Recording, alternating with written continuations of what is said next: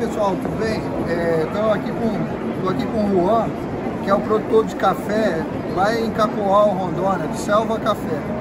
O Juan te, produz um café lá, um robusto amazônico, né, produzido nas matas de, de Rondônia. E é um café que a gente escolheu para servir no viveiro, para servir na embalagem que a gente vai lançar. E eu queria que ele falasse um pouco desse café que a gente comprou dele. Olá, meus amigos.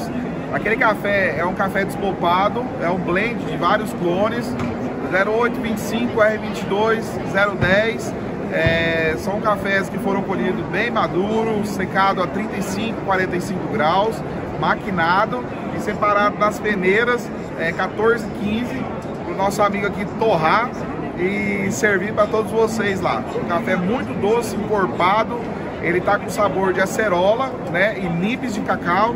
Então eu espero que todos vocês gostem do café e vão lá também em Rondônia para tomar mais, né, meu amigo? Eu fui lá, gostei, quis trazer para vocês. Então, perde tempo não, vem com a gente, experimente esse café aí.